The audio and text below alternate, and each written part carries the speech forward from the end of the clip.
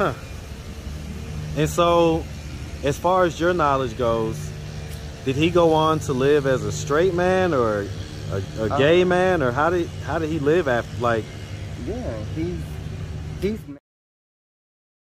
well, actually younger than that, like nine. But um, yeah, it started hitting, you know. So, but I kept it a secret for a long time. Not that it wasn't a secret, you know, but listening to a lot of stuff, you know. Were you like kind of a feminine acting boy, or were you like just regular kind of? you know, Um, regular kind of boy? I was, I was. I mean, have you talked to anybody about that? No, No, never. no. This is my first time speaking on it. I get that a lot. You'll be surprised. You'll be Yeah. surprised. Um, it's the reason why I roll up on folks, man. Sometimes we got to release some of this stuff, you know. Yeah, but it's like. What's up, YouTube? Go ahead and smash that like button. Also, if you like the video, share. It helps to spread it in the algorithm. Now, back to the content. Back to the content. To the content. What's up, YouTube? Atlanta Street Interviews out here with another one. Um, so we got a young lady with us today. How you doing today, miss? I'm fine. How are you? I'm doing well. I'm doing well. Um, so are you homeless technically? No. Okay, what's your situation? Um, I have my own apartment Okay. Um, and so how long have you had that apartment? for going on a year now. Year now? Was you homeless at one point? Yes. Okay. And was that before you had the apartment? Yes. Okay. All right. Well, congrats on that. Um, definitely congrats on that. Um, and so how old are you? I'm 30 years old. 30? Okay. Um, and so, so at this point, I mean, do, do you have any kids, anything like that? No children. Okay. Um, have you ever been married? No. No? Okay. And so, you know, I just walked up on you. I just actually just pulled over. Um, these things be random, really random sometimes, right? Um, all right. And so, are you like um, a transsexual? Transgender, yeah. Transgender? Okay, I'm sorry. I'm bad with the term, so please don't beat me up, guys. I'm human. I'm a well, I ain't talking about you. Yeah, I ain't talking about you. I'm talking about the audience. Mm-hmm. um, we're all learning at the same time. But okay, great. So, um, and so you're 30 years old. And so, what was it that caused you to become homeless when you were homeless? Um, because well, I came from a small town, so I, I'm not from here. So I decided to just pack up and go. And what caused me to be homeless was I didn't have all my information to um, to maintain a job at the time, and I did that to prevent um, you know sex work and stuff. So I decided to get my information, get a job, and just focus. You know. I, I could dig that. Um, why did you move here without your information and stuff? I lost it on the like sleeping in different places. My stuff got wet, so it was like got damaged and stuff. Yeah, that happens a lot out here. Um, I'd say 90% of people that come out here, um, if they have to end up outside, they end up losing their credentials. Um, Yeah. It's almost across the board.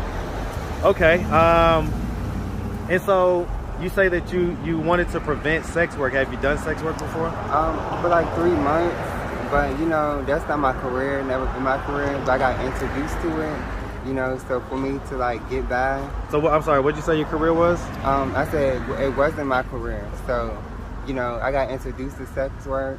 So I did it for a few months to get by, to get on my feet, like to help me. And you know, um, I don't judge nobody that do it, but it's not. It wasn't my career, and I wasn't like really comfortable doing it. So I had to make a change. I mean, you say that you got introduced to it from a friend. Was this like like a pimp? No, it was another girl. It was other girls. Okay, uh, another transgender. Um, cisgender, transgender. Okay, yeah. so just different Yeah, different girls. different Okay, okay. Um, and so I mean, would that be like online or like kind of walking the street type deal? um walking the street. Okay, so it was walking the street. Yeah, no, I would have, I would have guessed that. I would have guessed Yeah. maybe online. yeah, Um, but they dating online. See, I didn't have a phone and stuff then, so you know, um, I had to do what I had to do. But yeah, so so so let's just start from the beginning. So you say you come from a small town. Where you from? Baltimore, Maryland. That's not a small town. It is small. well, Maryland, Maryland, Maryland. Maryland is small. Where in where in Maryland? That's how that's how you say Maryland. Well, I'm close by. Um, I'm not too far from Washington D.C. But I'm like close up in. where? What's the? I, I used to live in Well- Maryland. What's the town? Um, St. Charles. Okay, St. Charles. Hey man, shout out St. Charles, Maryland, man. And shout out the whole the whole Merlin, you know what I'm saying? The whole Merlin, The the whole whole. DMV area, all that, man, all that. Um, definitely shout out Baltimore, man. Them row houses up there be going crazy. All right. So growing up in Maryland, did you have both your mom and your dad in the household? Um, no. Okay, who'd you grow up with? My mom, my mother, my siblings, and you know, family members like here and there, because I stay a pretty, you know, uh, um, a house to house type of situation. Okay, I get it. I get it. Um, how many brothers and sisters do you have? Um, I'm the second oldest out of six. Okay, okay. Um, and so as far as your dad, was he like active and present in your life? He was. He was in and out of jail, but when he did get a chance to um, see me, he did put effort in to see me. You know, but he had his own drug addiction going on at the time, which is I don't blame him.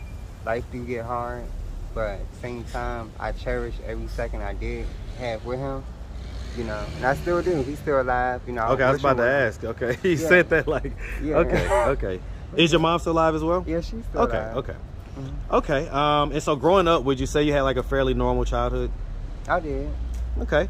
Um, and so when did you realize that you uh wanted to, you know, live as a woman? Um, I, well, actually, since I was a kid, I would say like kindergarten. I always knew since I was like a child.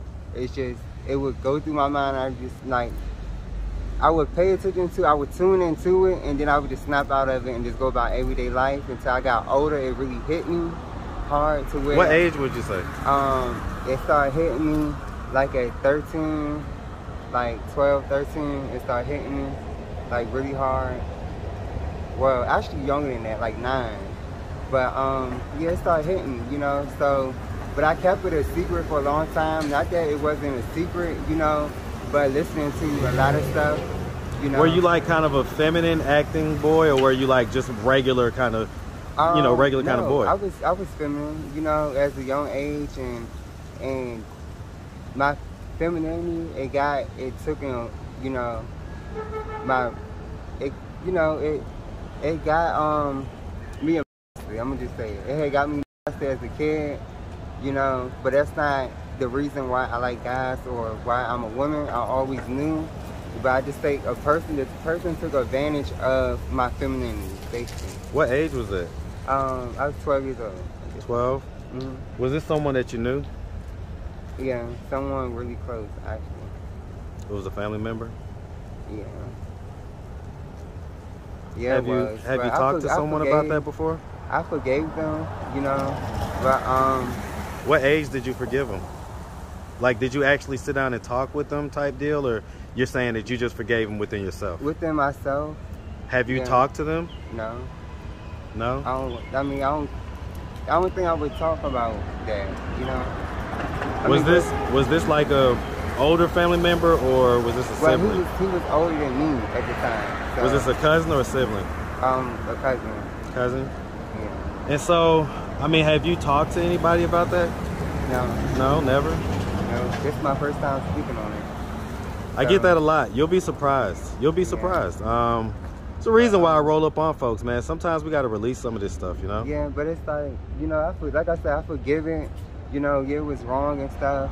And I think that's probably like what really made me angry as a child. Cause like middle school, I was like in middle school around that time. And my mom noticed that like my grades had started dropping. And I started getting in a lot of fights and stuff. And I had to put pieces together, you know, as I got older. And now that I realize it makes sense in my behavior. At that time when I was a, um, So how? Why do you think you never told no one back then? because I remember him telling me that you're going to get in trouble. Um, you know, it was just like a, you know, you better not tell type of thing. So, you know, and How old was he at the time? 17, Huh. And so, as far as your knowledge goes, did he go on to live as a straight man or a, a gay Uh, man, or how did how did he live after? Like, yeah, he's, he's married and he got kids. So, he's married and he has kids. Did that just happen one time, or was it ongoing? um, it was, it happened, it happened a few times, you know, but I got tired of it I just kept myself away, like away from it. So, How did you get away from it? Um, my mom, my mother, she had ended up moving like further away from where they was at, and then he ended up going to jail. So not because of that situation, but he ended up going to jail for a while. So that kind of like kept Stopped us it. apart. Yeah. But which was needed. But yeah. So, I mean, how did that make you feel?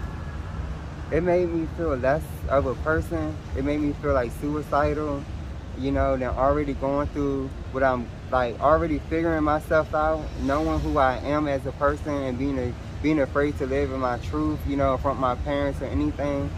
And now that I'm like at peace with myself, I'm just the happiest I've ever been in my life, you know, for me to please myself now, like, you know, I couldn't ask for no better life, you know, so I'm here.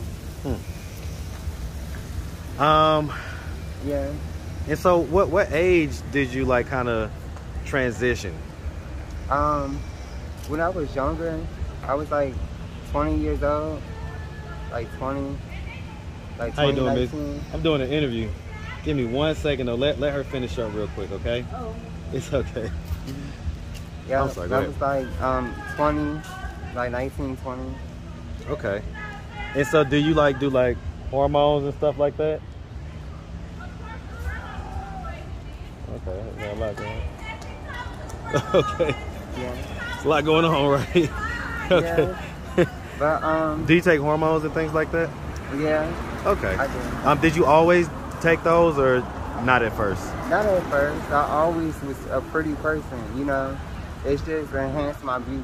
That's all. Okay. Yeah, I was about to say, you know, um, you have a feminine look all the way, a hundred percent. Like natural, no, no surgery, no work. no know, surgeries, no anything. Yeah, my natural. All right. Well, listen. Um, so I mean, congratulations on getting out of the position of being, you know, homeless when you was. Um, and so what are you doing at this point? Like, what are you like doing for income? Like, what are you? Um, what is your plan for like life? You know? Right now, I be braiding hair, um, but my plan for life is to become a nail tech. You know, a real um, high-end, famous nail tech, and also a model. So, you know, I have like dreams of becoming a model, and yeah, I'm going to. You know, and own properties. I want to own properties and sell Airbnbs to bring in income and buy land, so I could get back to my community. You're just trying to be a boss bee, Yeah, basically. A boss. I am a boss now. I just, I just need to.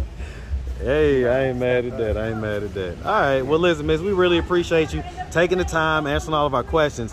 Um, if anybody out there wanted to reach out, help, or donate, do you have a way they could do that? Do you have social media, Cash App, anything like that?